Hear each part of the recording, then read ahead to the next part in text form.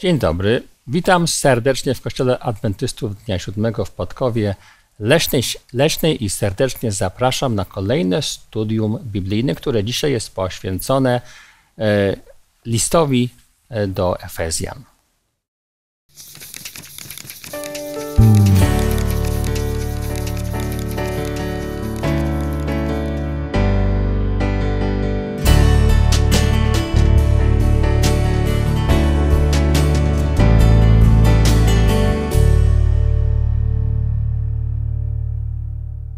Będziemy dzisiaj studiować list do Efezjan, rozdział drugi, e, a nasze studium nosi tytuł Jak Bóg nas ratuje.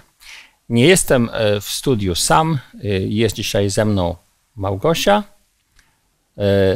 Norbert i Mariusz, a ja mam na imię Łukasz. A ponieważ będziemy studiować Pismo Święte na początku oczywiście będziemy chcieli prosić o to, aby Pan Bóg nam w tym pobłogosławił. Bardzo proszę. Panie nasz i Boże, dziękujemy Ci ogromnie za ten przywilej, że możemy czytać i rozważać Twoje słowo. Ale prosimy Cię o prowadzenie Ducha Świętego.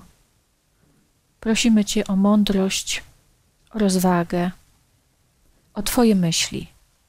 Niech Duch Święty, proszę, prowadzi nas i wszystkich, którzy będą w tych rozważaniach uczestniczyć, oglądając je i słuchając. Amen. Amen. Będziemy dzisiaj studiować część drugiego rozdziału listu do Efezjan. Jest to e, bardzo ważna część tego listu, dlatego że skupia się na tym, w jaki sposób Pan Bóg ratuje nas, ludzi przed naszym losem, przed naszą naturą. E, chciałbym, byśmy zaczęli od spojrzenia na sam tekst, który jest e, e, dziś, dzisiaj jakby tym centrum na naszej uwagi. Ten tekst jest zapisany w drugim liście do Efezjan, w, w drugim rozdziale listu do Efezjan, przepraszam, w wierszach od 1 do 10. Bardzo proszę o odczytanie. I wy umarliście przez upadki i grzechy wasze, w których niegdyś chodziliście według modły tego świata, naśladując władcę, który rządzi w powietrzu, ducha, który teraz działa w synach opornych. Wśród nich i my wszyscy żyliśmy niegdyś w porządliwościach ciała naszego, ulegając woli ciała i zmysłów, i byliśmy z natury dziećmi gniewu, jak i inni. Ale Bóg, który jest bogaty w miłosierdzie, dla wielkiej miłości swojej, którą nas umiłował, i nas, którzy umarliśmy przez upadki, ożywił wraz z Chrystusem Łaską zbawieni jesteście. I wraz z Nim zbudził, i wraz z Nim posadził w okręgach niebieskich, w Chrystusie Jezusie, aby okazać w przyszłych wiekach nadzwyczajne bogactwo łaski swojej, w dobroci wobec nas w Chrystusie Jezusie. Albowiem łaską zbawieni jesteście przez wiarę, i to nie z was, Boży to dar, nie z uczynków, aby się kto nie chlubił. Jego bowiem dziełem Jesteśmy stworzeni w Chrystusie Jezusie do dobrych uczynków, do których przeznaczył nas Bóg, abyśmy w nich chodzili. Dziękuję bardzo. W tych e, wie, wie, wierszach apostoł Paweł generalnie pokazuje pe, pewien pro, proces. Ten proces zaczyna się od tego, że opisuje to, w jakim stanie znajduje się człowiek. E, jest to stan e, upadku. Następnie przechodzi do jakby aktu wzbudzenia, które, jest, które ma e, mie, mie, miejsce dzięki zmartwychwstaniu Jezusa Chrystusa, a potem e, Jego w niebo wstąpieniu i oczywiście Jego wy, wy, wywyższeniu w niebie. I na końcu odnosi to do skutków, które spływają na ludzkość, a mianowicie tego, że to samo ożywienie to samo niejako wzbudzenie z martwych duchowe jest albo staje się działem ludzkości tych, którzy chcą w to uwierzyć. Umarliśmy przez upadki. Bóg nas ożywił wraz z Chrystusem i wreszcie łaską zbawieni jesteście. Popatrzmy na pierwsze dwa e, wiersze tego e, fragmentu. Będę czytał z uwspółcześnionej Biblii E, pier, pier, Gdańskiej, pier, pierwszy i drugi wiersz. i was ożywił, którzy byliście umarli w upadkach i w grzechach, w których niegdyś postępowaliście według zwyczaju tego świata i według władcy, który rządzi w powietrzu, ducha, który teraz działa w synach nieposłuszeństwa. Mamy tutaj kilka bardzo ciekawych stwierdzeń, mówiących bardzo dużo o naszej naturze, o tym, co ma wpływ na nasze postępowanie. Takim pierwszym uderzającym stwierdzeniem jest to, że byliście umarli. Byliście umarli. Co to oznacza? Dlaczego pa, pa, pa, Paweł posługuje się tak mocnym, dosadnym słownictwem? Y, kiedy mówi psychologia na temat stanu człowieka, jego, jego jakby natury od takiej naukowej jakby strony, to mówi, że na, nasze postępowanie wpływ mają takie czynniki mm, e, dziedziczne, prawda? Czyli rodzimy się z, już z, z pewnym usposobieniem, z mhm. pewnymi skłonnościami, charakterem, ale też potem wpływ środowiska, tak? Czyli to, jak się wychowamy w rodzinie, do jakiej szkoły chodzimy, jakich mamy przyjaciół, to nas kształtuje i potem daje wypadkową postaci naszego postępowania, charakteru. Paweł tutaj mówi właśnie o tym, że jest jeszcze trzeci jakby czynnik, mhm. ten czynnik duchowy i psychologia tego nie bierze pod uwagę, że jest jeszcze mm, oprócz mm, tego wpływu środowiska, pewnych naszych wewnętrznych skłonności, którymi się rodzimy, jest jeszcze ten duch, mhm. który działa, prawda? Gdzieś tam umiejscawia go w powietrzu, jak mówi tam przykład Biblii Gdańskiej, ale teraz to jego działanie objawia się w życiu ludzi nienawróconych. Mhm. On działa w synach opornych, tych, którzy nie poddali jeszcze swojego życia mhm. Panu Bogu. I to jest bardzo ważne, że ten czynnik jest uwzględniony właśnie w tym studium dotyczącym natury, bo inaczej mielibyśmy taki prosto wykład, wykład psychologii.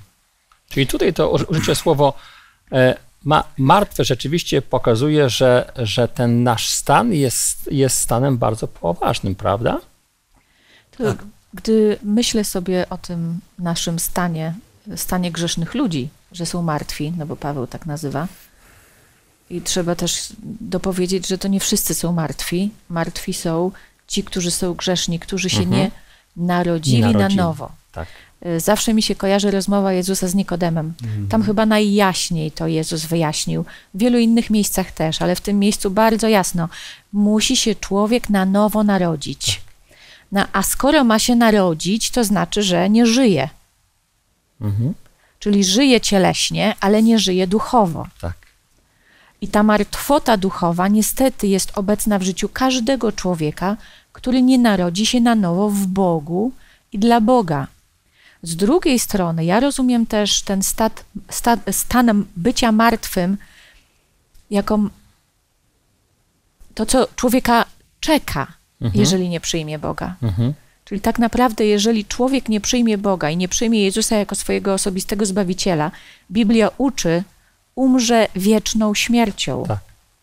I to jest chyba ta y, ważniejsza część życia i śmierci niż to, co przeżywamy na tej ziemi. Tak. E, patrząc na ten fragment, e, faktycznie e, tutaj pojawia się taka myśl o śmierci za życia. I wydawać by się mogło, że to jest taka pierwsza myśl porażająca, jaka pojawia się w listach mhm. Pawła.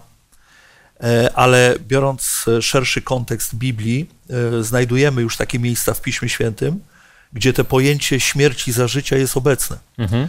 Oczywiście są takie miejsca już w Ewangeliach. Pan Jezus mówił o pewnym człowieku, żeby podjął e, ostatecznie decyzję pójścia za nim, mhm. chociaż on chciał, jak pamiętamy, w Ewangelii Łukasza jest to zapisane, chciał jeszcze pójść i grzebać e, swoich bliskich, swojego bliskiego, może ojca. Tak. I Chrystus Pan mu, mówi, e, zostaw ich, jego, niech umarli grzebią umarłych swoich. Tak. I, I to faktycznie szokuje. No jak przecież ci ludzie żyją, oni chodzą po ziemi, jak oni mogą być e, martwi? I ta myśl faktycznie się e, powtarza, nawet kiedy Pan Jezus mówił o synu marnotrawnym, który e, odnalazł się, tam pada też takie stwierdzenie, że e, był, był umarły, był, a ożył. ożył a tak. ożył, tak?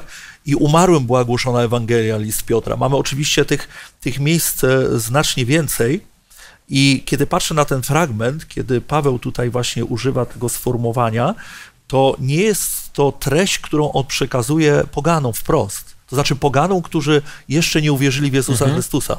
No bo trudno by było pójść do pogan i powiedzieć im, słuchajcie, jak tak patrzę na was, to widzę, że jesteście umarli, wy nie żyjecie, wam się wydaje, e, wam się wydaje, że wy żyjecie, nie, wy nie żyjecie i teraz ja muszę coś zrobić dla was, a może Bóg, którego reprezentuję, abyście powstali do życia. Oczywiście w taki sposób nie była e, głoszona Ewangelia. Ci ludzie już zdają sobie sprawę, co jest powodem ich, ich duchowej śmierci. Dlaczego byli umarli? Dlaczego nie mieli w sobie tej iskry Bożej? Dlaczego nie mieli tych pragnień, tego poszukiwania e, duchowego? Oni już to wiedzą. Paweł jedynie podsumowuje e, to, co miało miejsce w ich życiu wcześniej i co ma miejsce e, obecnie. No i oczywiście wszystko jest na kanwie wielkiego boju, tej, tej duchowej wojny pomiędzy siłami ciemności a światłości, ale zapewne będziemy jeszcze o tym mówić. Tak, bardzo wa- ważne jest to, że, że apostoł pa, pa, pa, Paweł te słowa istotnie odnosi do ludzi nowonarodzonych, do ludzi nawróconych, do ludzi, którzy żyją i mówi: Pamiętajcie, że kiedyś nie żyliście, że byliście kie- kiedyś martwi, dopóki Bóg czegoś w waszym ży- życiu nie zrobił. To jest bardzo istotne, ten motyw się rze- rzeczywiście e, mm, powtarza. I e, apostoł pa, pa, Paweł też wskazuje na to, że generalnie do, e, jest sze- szereg elementów, które e, prowadzą ku temu, że, że nie, nie ma w nas tej iskry jakby Bożej, tej skłonności do tego, żeby poszukiwać. I to wynika z tego, jak tutaj wspomniał Ma- Mariusz, że istotnie środowisko, w którym wyrastamy, ma bardzo głęboki na nas wpływ e, i chcemy żyć tak, jak żyje świat. Chcemy aspirować do tego, do czego aspiruje świat. No a ten drugi element, e, który tutaj jest wspomniany ba, bardzo konkretnie, czyli że jest władca tego świata, który jest i w powietrzu, e, prawda, czyli jakby w takim miejscu duchowym, ale też jest obecny w synach zbuntowanych, czyli tych, którzy nie chcą przyjmować gło- głosu Pana Boga, czyli że, że przejawia się też konkretny wróg, prawda, który ma też wpływ na nasze myślenie i nasze postępowanie. Tak, w nawiązaniu do tego, co powiedziałeś, y, stale jakoś tak towarzyszy mi taka myśl, że Biblia już tutaj na wstępie, a więc początki chrześcijaństwa, e, oswaja nas z myślą, że szatan i jego aniołowie nie są umieszczeni w jakichś lochach Mhm. i nie siedzą zamknięci i e, nie spotykają się tam z, nowym, z nową dostawą dusz, aby, aby zadać im cierpienia, ale według apostoła Pawła i nie tylko, jest, są to duchy rządzące w powietrzu. Ale tak jak wspomniałeś też e, w synach opornych, to jest ciekawe, Biblia mówi o tym, że jesteśmy podzieleni tak naprawdę na dwa obozy. Nigdzie w Piśmie Świętym nie znajdziemy pojęcia trzeciego obozu albo trzeciej drogi. E, Są dwa królestwa. Tak. Są dwie przynależności. Ja e, kojarzę tutaj teraz taki fragment e, z dziejów apostolskich, jeżeli można, chętnie bym go przytoczył. Są to słowa Jezusa Chrystusa, które skierował do apostoła Pawła, Szawła, przed nawróceniem i w trakcie jego nawrócenia, byśmy powiedzieli. One są zapisane w 26 rozdziale dziejów apostolskich. I werset 18 mówi tak, może 17. Wybawię cię od tego ludu i od pogan, do których cię posyłam aby otworzyć ich oczy, odwrócić od ciemności do światłości, od władzy szatana do Boga, aby dostąpili odpuszczenia grzechów i przez wiarę we mnie współudziału z uświęconymi. Mam wrażenie, że to jest treścią tego listu, że tutaj właśnie ten list przede wszystkim kładzie nacisk, że konfrontujemy się z realnym wrogiem, że on nam zagraża, nawet jako wierzącym, nie jesteśmy wolni. Jeszcze może taka myśl, spotkałem pewną grupę wierzących i i pewien pastor w pewnym zgromadzeniu powiedział, odkąd się nawróciliście, przyjęliście Ducha Świętego, szatan nie ma do was żadnego dostępu. To nie jest prawda, Biblia tego nie mówi. Mhm. Biblia uczy inaczej, tak. Y, To, co jest tutaj, wydaje mi się bardzo istotne, to to, że w życiu człowieka wierzącego, według tego listu, zachodzi bardzo istotna zmiana. To nie jest tylko taka zmiana intelektualna, prawda? Nie ja słyszę jakieś świadectwa nawrócenia. Ktoś mówi, no bo ja kiedyś święciłem y, niedzielę, ale potem nawróciłem się Mhm. i teraz święcę sobotę, albo ja to kiedyś jadłem to i to, a teraz tego nie jem, prawda? Można być nienawróconym weganinem, wegetarianinem, e, można być e, nienawróconym abstynentem również, prawda? Tak. I też wydaje mi się, że można być Mhm. e, mm, osobą święcącą sobotę, prawda? Gdzie jest waszła jakaś zmiana, coś zrozumieliśmy intelektualnie, wszystko się zgadza. Ale wciąż nie, nie być człowiekiem nawróconym. Paweł mówi, że nawrócenie jest takim głębokim procesem. Mm, Byliśmy w jednej rzeczywistości, Mhm. jesteśmy zupełnie innej, a więc coś zmienia się mm, w naszym życiu, mm, w naszym charakterze. Jakby zmieniamy w ogóle miejsce. Byliśmy gdzieś tam, prawda, gdzie, gdzie był władca tego świata, i teraz nas Chrystus gdzieś przeniósł zupełnie inną rzeczywistość. 180 stopni. Tak, i to, i to jest ważne, że, że- że nawrócenie jest czymś głębokim, a nie tylko zmianą sposobu myślenia, prawda, czy zmianą doktryn religijnych. To jest coś znacznie, znacznie więcej, znacznie, znacznie głębiej. To sięga gdzieś do, do, no, Do do sedna. naszej istoty. To jest tak. Zwłaszcza kiedy weźmiemy pod uwagę to, jaka jest nasza natura według tego, co apostoł Paweł pisze dalej. Małgosiu, chciałaś jeszcze coś powiedzieć? Ja jeszcze wcześniej też do tego drugiego wersetu chciałam się odnieść, że bardzo ciekawe dla mnie jest to połączenie, zestawienie, że chodziliście według modły tego świata z naśladując władcę, który rządzi w powietrzu, Mhm. ducha, który teraz działa w synach opornych. My wiemy, że chodzi o szatana i o jego aniołów. E, I to zestawienie, że jeżeli ktoś chodzi według modły tego świata, czyli naśladuje świat, to tak naprawdę jest sługą szatana, to też są bardzo mocne słowa. A tak naprawdę o to chodzi. To to, co Norbert chyba ty powiedziałeś, nie ma trzeciej drogi. I idziesz albo za Bogiem, a jeżeli nie idziesz za Bogiem, to idziesz za szatanem. I Tak, to jest jesteśmy- bardzo mhm. oczywiste i myślę, że to jest bardzo poważna sprawa, którą Paweł jeszcze wyjaśnia pod koniec, y, pod koniec listu do Efezjan w szóstym rozdziale, gdzie jeszcze jakby dobitniej mówi, gdyż bój toczymy nie z krwią i z ciałem, lecz, lecz z nadziemskimi władzami, ze zwierzchnościami, z władcami tego świata ciemności, ze złymi duchami w okręgach niebieskich. My toczymy bój, to znaczy wierzący. I to też, co Norbert powiedziałeś, nie jesteśmy bezpieczni, jeżeli nawróciliśmy się do Boga, cały czas z tym Bogiem musimy mieć społeczność i musimy przy nim trwać. I to jest tak ważne, żeby sobie zdać sprawę, jaka to jest poważna rzecz. Jeżeli odrzucamy Boga, automatycznie przechodzimy pod władztwo Jego przeciwnika. Tak. I myślę, że warto to podkreślać, żeby nikt nie czuł się bez Boga bezpieczny, ale chciałabym odwrócić te słowa. Z Bogiem możemy czuć się bezpieczni i tylko z Bogiem. Tak, skąd jest w nas właśnie taka skłonność do tego, żeby upadać? E, Nam się generalnie wy- wydaje zwykle, że ludzie nie są tacy źli. Mamy, wiecie, takie dosyć e, wy, wysokie e, zrozumienie e, ludzkich możliwości. I w pewnym se- sensie to jest słuszne, bo nie można ludzkości odpowiedzieć tego, że nie osiągnęła bardzo wie, wiele. Mamy humanizm, ale jednak od strony biblijnej e, natura czło- człowieka wydaje się być niestety jednoznacznie skazana na niemoc, nieumiejętność dostrzeżenia prawdziwego Bo- Bo- Bo- Bo- Boga. Zobaczmy na wiersz trzeci, który tutaj e, też do tego się odnosi. Ja może przeczytam z tego przek- przekładu, żeby było troszeczkę inaczej. Wśród nich i my wszyscy żyliśmy niegdyś w porządliwościach naszego ciała, czyniąc to, co się podoba ciału i myślom, i byliśmy z natury dziećmi gniewu, jak i inni.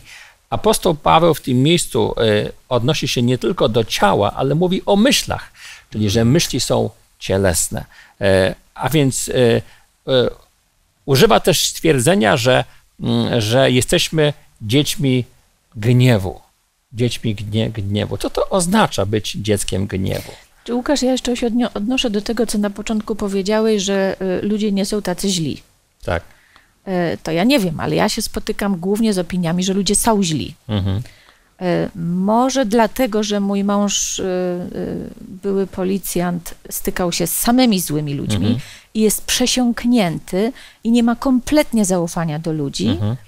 E, I również jak patrzymy to, co się dzieje dookoła nas, co czytamy, my jesteśmy otoczeni złem, oszustwem, kłamstwem, zdradami, no wszystkim co najgorsze. Tak naprawdę jak ja patrzę na to, co się dzieje na świecie, jest coraz gorzej. Natomiast ludzie niekoniecznie zdają sobie z tego sprawy, bo mają inne standardy. No tak.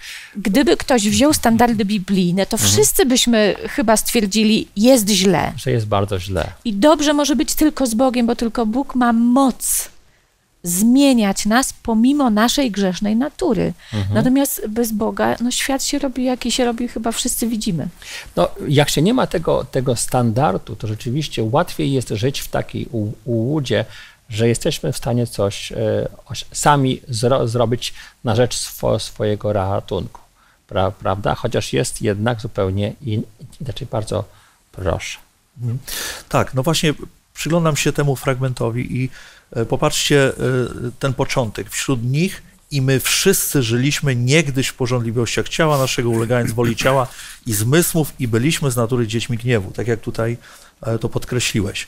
No to fajnie, no nawróciliśmy się, jest teraz super, nie mamy żadnych problemów, e, żadne pokusy na nas nie czyhają, a nawet jeśli czyhają, to sobie doskonale z nimi e, radzimy, no bo tu jest napisane, że tak ma być, że taki jest kierunek, no ale jeżeli doświadczamy czegoś innego, wtedy zaczynamy się zastanawiać, a może jesteśmy nienawróceni, a może e, e, ludowi Bożemu, czyli wiernym Bogu, nie powinny się takie rzeczy zdarzać. No i to jest ciekawe, bo gdy spoglądamy na Stary Testament, gdy spoglądamy na Nowy Testament, to widzimy te same mechanizmy.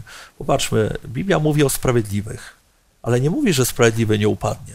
Jest tylko powiedziane, że choćby nawet siedem razy upadł, to Pan go podniesie. Jaka jest więc różnica? No, Różnica polega na tym, że zmienia się nastawienie, bo gdy na przykład ten fragment byśmy porównali na chwilę z, e, z tekstem e, apostoła Pawła do Kolosan, to jest coś bardzo ciekawego, bo w trzecim rozdziale listu do Kolosan e, czytamy tak, cytuję werset piąty. Umar, umartwiajcie tedy, co w waszych członkach jest ziemskiego. Wszeteczeństwo, nieczystość, namiętność, złą porządliwość, chciwość, która jest bałwochwalstwem, z powodu których przychodzi gniew Boży. I tutaj jest ciekawe, e, pada zdanie. Niegdyś i wy postępowaliście podobnie, kiedy im się oddawaliście. No i taki, taka sprzeczność. No jak to? To, żeście czynili teraz. Tacy byli to, to, Efezjanie. jak to? To znowuż jest, macie z tym walczyć, o co tutaj e, chodzi. Ale werset ósmy dodaje, ale teraz odrzućcie i wy to wszystko. Zaraz, jak to wszystko odrzucić? Przecież my to wszystko odrzuciliśmy. My jesteśmy innymi ludźmi, jesteśmy nowym stworzeniem. A tu jest napisane gniew, zapalczywość, złość, bluźnierstwo, nieprzyzwoite słowa z ust waszych i tak dalej. Nie okłamujcie siebie nawzajem. Jak to faktycznie jest? Czy e, proces nowonarodzenia polega na tym, że stajemy się bezgrzeszni, czy połykamy jakąś magiczną tabletkę od Boga, która sprawi, że od tej pory e, stary człowiek naprawdę ze wszystkimi pragnieniami umarł? Bo ja doświadczam czegoś takiego, że, że jednak te rzeczy się odzywają, ale mam nadzieję. I tą nadzieję daje mi Bóg. Czyli myślę, że w tej Pawłowej koncepcji naszej natury, tej starej, Mhm. starego człowieka, nowego człowieka, no i- jest, jest to rozróżnienie, y, że człowiek nienawrócony ma zupełnie inny kierunek. Y, Bóg jest dla niego kimś obcym, prawda? On od Boga ucieka, czyli ma kierunek jakby ucieczki od Boga i w tym wszystkim, co jest złe, znajduje przyjemność. Tak? Ja kiedyś znajdowałem przyjemność, nie wiem, w alkoholu swego czasu, a w jakimś bluźnierstwach. A ja nawet miałem problem, y, że na przykład złe mówienie było moją naturą. Nie potrafiłem się odezwać, nawet na początku mojej drogi z Bogiem, to bałem się ulegać emocji, jakieś studium biblijne, bo coś tam się posypało, bo to było częścią na, mojej Chyba natury. większość z nas ma, ma Tak. ten problem. Y, Ale potem zauważyłem, że pewne rzeczy jakby przestają mnie pociągać, przestają mnie interesować, tak? I, i Może i nawet za- smakować. zau- tak, nawet smakać. Zauważyłem tą, tą zmianę, więc Bóg nas uwalnia. To nie znaczy, że nas czyni bezgrzesznymi, ale nie jesteśmy już poddani tej mocy, tak? Y, Dlatego, że braliśmy ten drugi kierunek. Zmierzamy w kierunku Boga, zmierzamy w kierunku uświęcenia naszego życia. Bóg nam pomaga, Bóg y, daje nam siłę, daje nam łaskę. I mimo wszystko jest wielka różnica. Możemy wciąż jeszcze mieć słabości, upadać, ale wybraliśmy zupełnie inny kierunek życia. Jesteśmy Mamy w inny innej, cel. Jesteśmy to w innej znaczy- rzeczywistości. Czy to ja znaczy, może- że, może- że my ten gniew, który jest w nas tutaj wpisany, jak to pokazuje apostoł pa Paweł, w jakiś sposób przezwyciężamy? Przecież apostoł Paweł mówi o tym, że są, że e, kiedy mówi o tym gniewie, że są to rzeczy, z którymi się nie da sobie poradzić, o ile Bóg nie dokona w nas rewolucji, czyli nie zrobi czegoś sam z, z zewnątrz, tak? No ale teraz czym jest ta rewolucja? No bo jeżeli oczekujemy cze- czegoś, że e, w momencie nawrócenia, w momencie przyjęcia świadomie Jezusa jako naszego Zbawiciela, e, i powiedzenie sobie i Bogu, Boże, od dzisiaj chcę z Tobą iść, to, to co? To nagle jednego dnia y, zmienia się całkowicie nasze życie i od tego czasu już prawie w ogóle nie grzeszymy, bo wiadomo, mamy grzeszną naturę. Czasem się troszkę może zdać, ale prawie nie. No, no nie, to, to się nie dzieje w ciągu jednego dnia. To jest proces całego życia. Owszem, są takie przypadki spektakularnego nawrócenia i to Mhm. widzimy Paweł. No można by powiedzieć, to, to było spektakularne nawrócenie jednego dnia, chociaż nie jednego dnia, bo on parę lat potem jeszcze musia, musiał się uczyć w szkole Bożej. Mhm. Trzy lata, o ile dobrze pamiętam. Trochę mu to czasu zajęło, zanim poszedł na misję. Natomiast dla nas, ja mogę powiedzieć po sobie, wiele lat Bóg mnie kształtuje, zmienia i w wielu obszarach jeszcze daleko, daleko do doskonałości, którą nawet ja bym sobie życzyła. Ale najważniejszy jest kierunek. Mhm. Najważniejszy jest wzrost w Bogu. To jest ten proces uświęcenia, o którym Biblia tak często mówi. I co innego jest świadomie trwać na złej drodze, a co innego jest świadomie na dobrej no- drodze od czasu do czasu upadać. I to jest ta ogromna różnica. I to jak na początku mówiliśmy, nie ma czegoś takiego jak raz zbawiony, na zawsze zbawiony. To jest stała droga ku Bogu. I tylko tem, dzięki temu, że trzymamy się mocno Boga, to tych upadków może być coraz mniej. Zobaczmy, co dzieje się w wierszu czwartym. Jest napisane, lecz Bóg, który jest bogaty w miłosierdzie z powodu swojej wielkiej mi miłości, którą nas umiłował. Pięć. I to wtedy, gdy byliśmy umarli w grzechach. To, to jest bardzo istotne. Kiedy to zrobił, tak? Ożywił nas razem z Chrystusem, gdyż łaską jesteście zbawieni. Tak? Co to oznacza łaską? To, notabene ten wiersz czwa, czwarty, to słowo ale albo lecz, zależnie od przekładu, stawia nam jakby przeciwieństwo. Mówi, ale Bóg znalazł na to wszystko lekarstwo.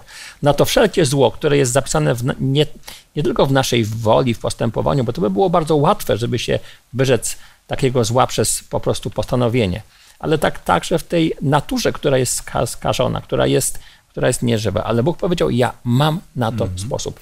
Jaki? Skoro żeśmy porównali tutaj to życie chrześcijańskie do takiej właśnie drogi, że byliśmy, szliśmy w jednym kierunku, a teraz drugim, tak, 180 stopni, e, zastanawiamy się, kto tą zwrotnicę przełożył, prawda? No tutaj wychodzi, że, że, że, że Pan Bóg, a, ale Bóg, tak? Takie było wasze życie, taki był kierunek i to nie wy nagle doszliście do wniosku, że no, trzeba by coś zmienić, prawda? Bo idę w złym kierunku.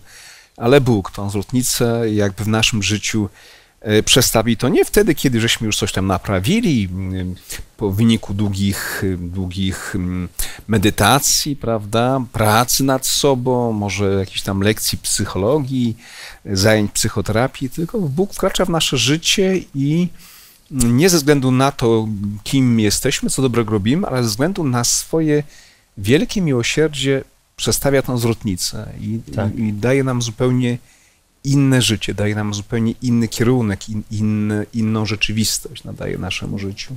To się chyba nie dzieje wbrew naszej wo- wo- woli, bo jeśli Bóg przestawia tą zwrotnicę, to jednak człowiek coś musi zrobić, a przynajmniej postanowić. Jak myślicie? No ciekawe jest to, że y, Biblia bardzo wyraźnie uczy, że Bóg tą łaską chce obdarzyć każdego człowieka. I każdy człowiek może być zbawiony. Ale warunkiem jest nowonarodzenie, przyjęcie Boga świadomie, przyjęcie Jezusa Chrystusa.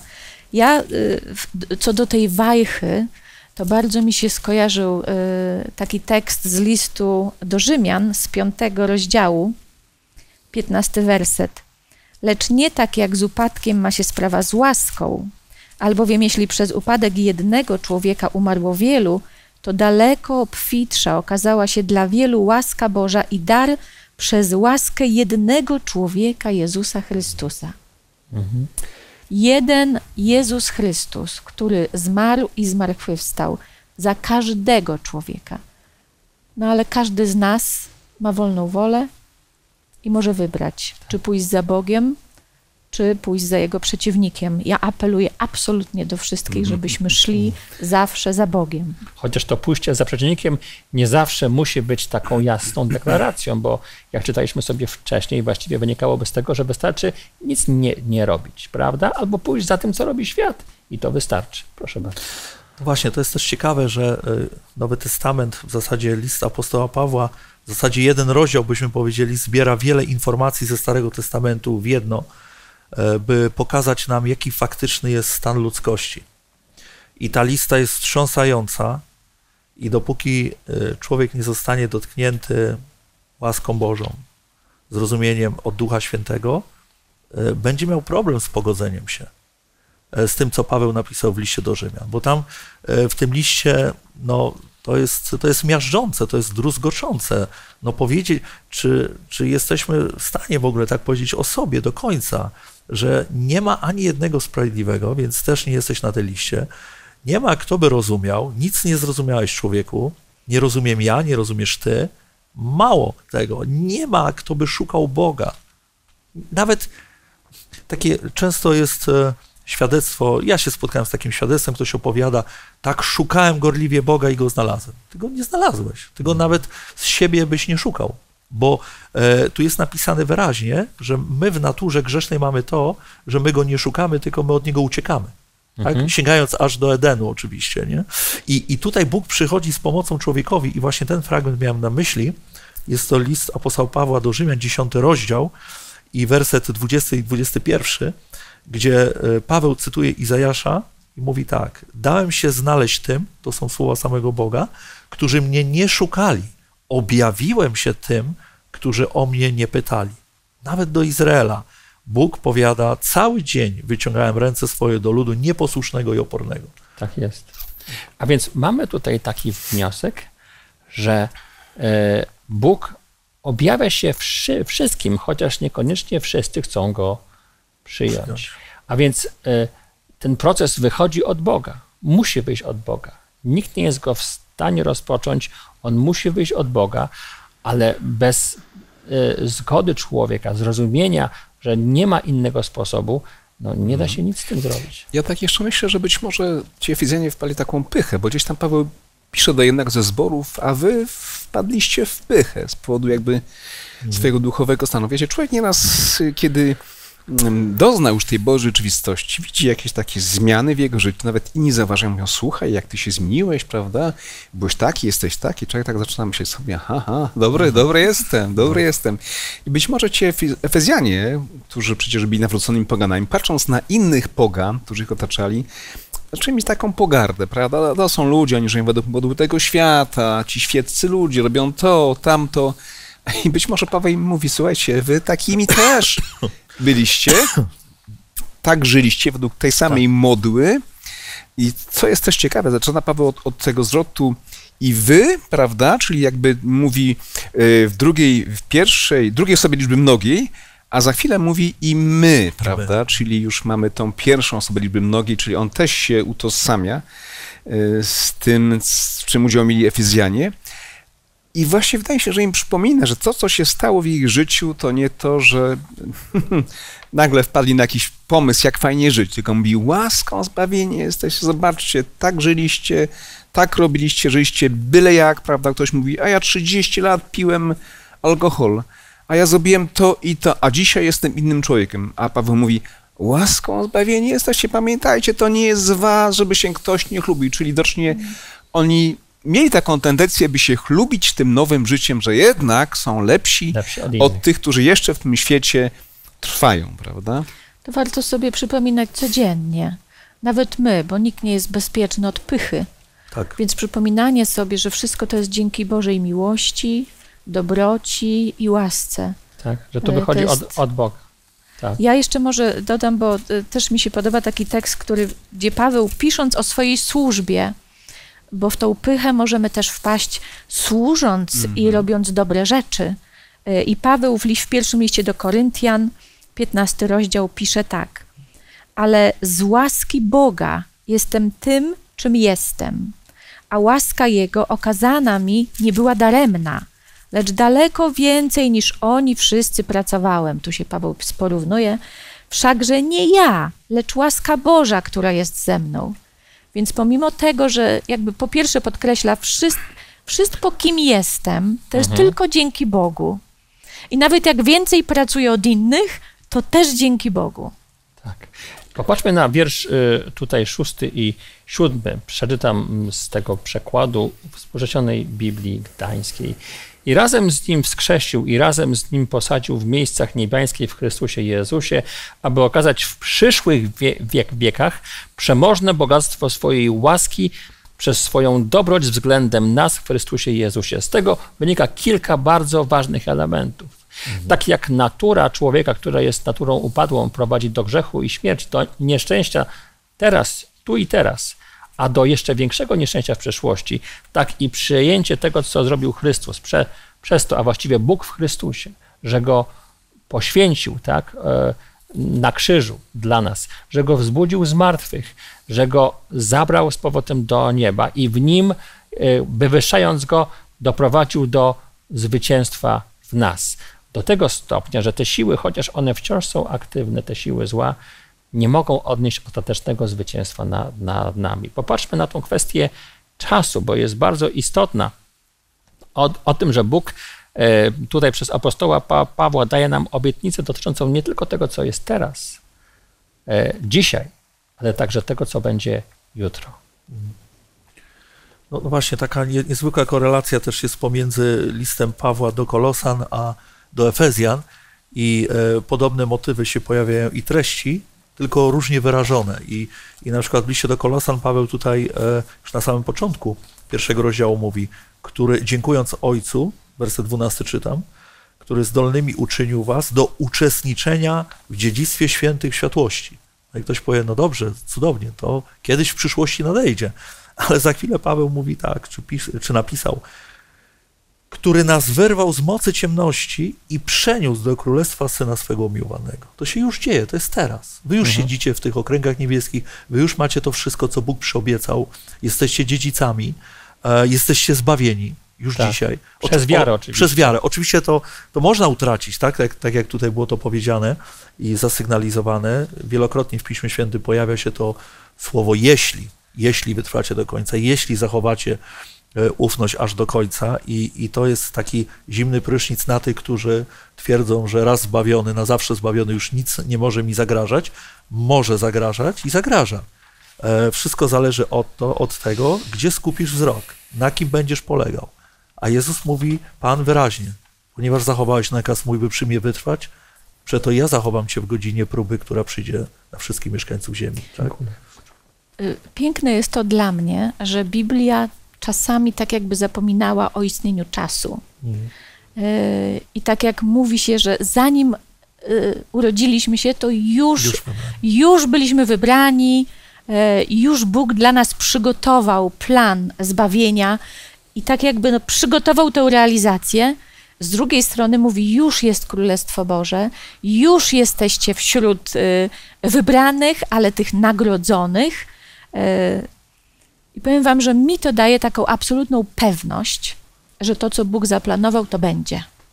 Nie ma absolutnie żadnej wątpliwości, nie ma żadnego jeśli, czy, możliwe. E, ja osobiście bardzo lubię czytać Biblii o Bożych obietnicach, mhm. E, bo są piękne. I przeczytam tylko trzy, króciutko, z Apokalipsy Jana, z trzeciego rozdziału. Pierwsze. Zwycięzca zostanie przyobleczony w szaty białe i nie wymarzę imienia Jego z Księgi Żywota i wyznam imię Jego przed moim Ojcem i przed Jego aniołami. Drugie. Zwycięzcę uczynię filarem w świątyni Boga mojego i już z niej nie wyjdzie. I wypiszę na nim imię Boga mojego i nazwę miasta Boga mojego, Nowego Jeruzalem, które stępuje z nieba od Boga mojego i moje nowe imię. I trzecie, zwycięzcy pozwolę zasiąść ze mną na moim tronie, jak i ja zwyciężyłem i zasiadłem wraz z Ojcem moim na Jego tronie. Ja myślę, że to jest niezwykle ważne, naprawdę stuprocentowo uwierzyć w to. Jezus jest zwycięzcą i my jesteśmy zwycięzcami razem z Nim. Tak, amen.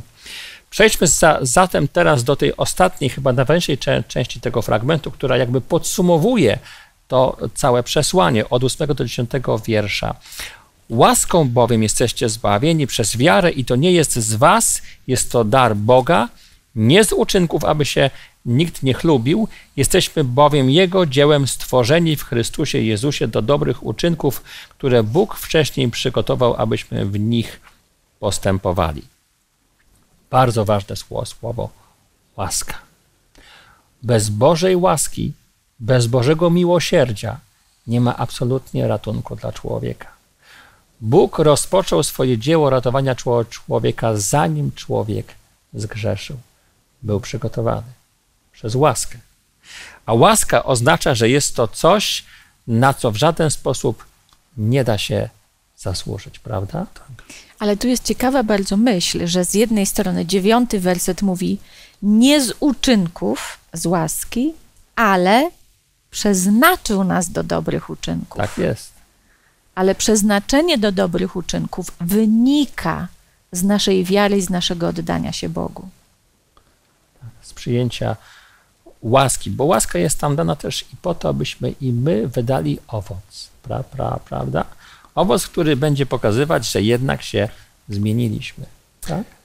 Paweł napisał w jednym miejscu do wierzących, żeby łaski Bożej nie przyjmowali daremnie czy nadaremno, prawda? Znaczy, że łaskę można, można przyjąć nadaremno, kiedy nie pozwalamy jej w nas działać. A tutaj według tego tekstu łaską zbawieni jesteście, Paweł mówi, nie z uczynku.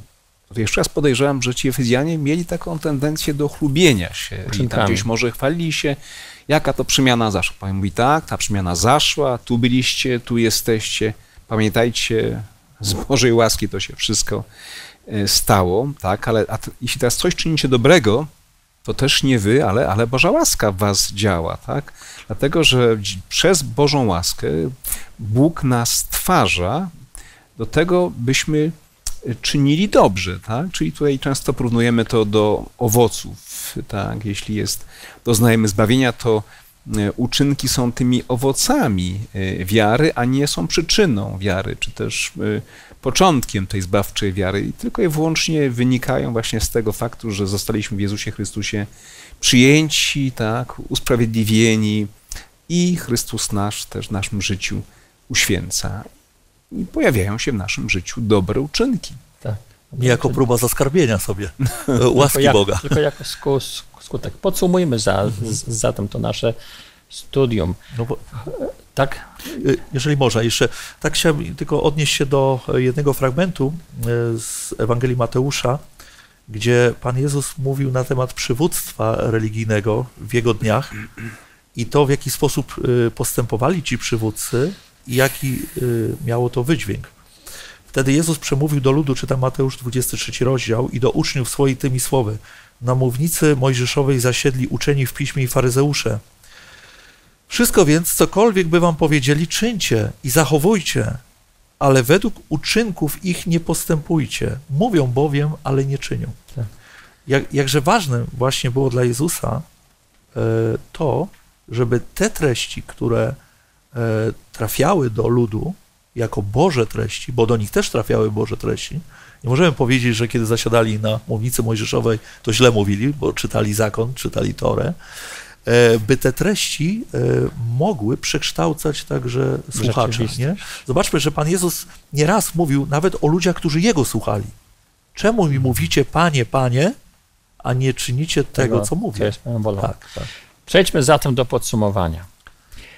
Wynika z tego, że, a, że apostoł pa, Paweł nie ma wątpliwości, że nasz stan na początku, na początku był taki, jaki możemy sobie wyobrazić, dotyczy wszystkich ludzi tego świata, dopóki w ich życie nie wkroczy Bóg i nie zostanie w jakiś sposób przyjęty. Tak? Bóg delikatnie puka do naszych drzwi. Jak wiecie, zwykle puka przez język miłości. Daje to, daje tamto i czeka, aż człowiek zauważy.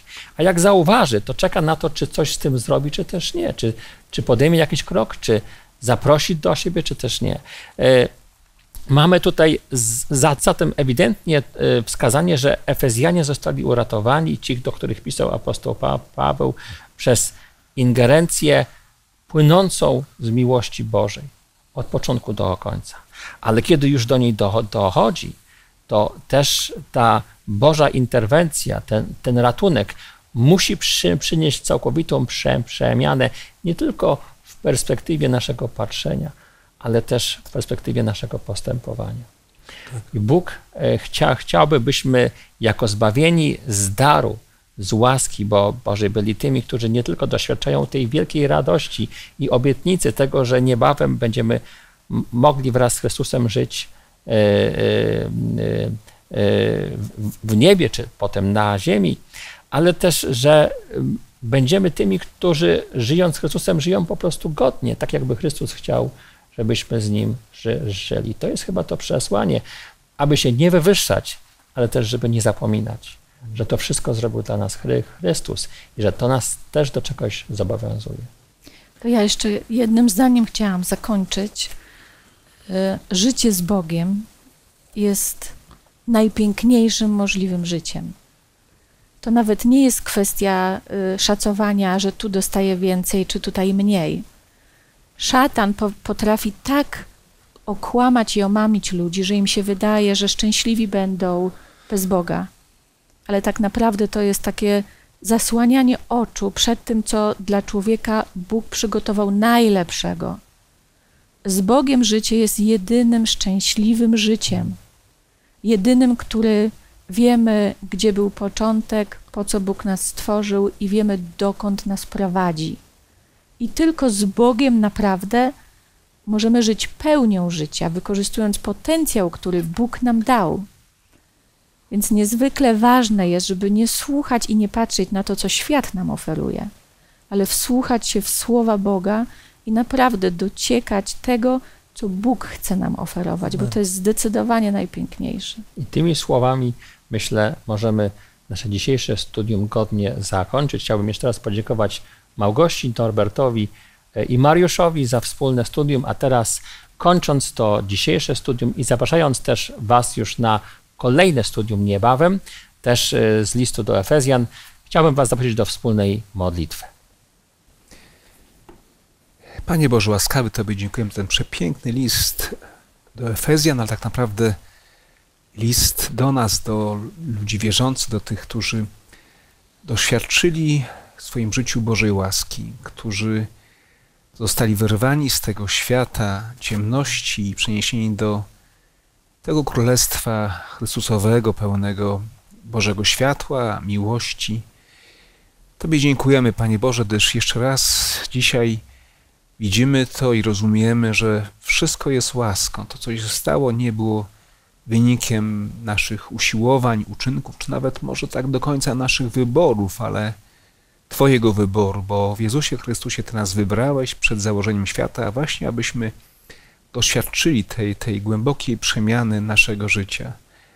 Drogi Boże, daj, abyśmy o tym często rozmyślali, abyśmy cieszyli się tą rzeczywistością żyjąc blisko od siebie, będąc przez Pana Jezusa stworzeni do dobrych uczynków, wydawali właśnie te owoce naszego chrześcijańskiego życia dla Twojej chwały na świadectwo też innym, innym ludziom. Panie Boże, prosimy Cię za wszystkimi, których dzisiaj być może oczy są zasłonięte, którzy nie dostrzegają tego światła, żyją według modły tego świata, będąc dalecy od Ciebie, daj Panie, aby ten cud szumiany także zaistniał w ich życiu. Prosimy Cię za naszymi bliskimi, za rodzinami, za przyjaciółmi, kolegami, koleżankami z pracy, sąsiadami, Panie, abyś dotknął ich też właśnie mocą swojej łaski. Przez Pana Jezusa Cię o to prosimy. Amen. Amen. Amen. Dziękujemy za na nasze wspólne studium. Serdecznie pozdrawiamy i zapraszamy na kolejne. Do zobaczenia.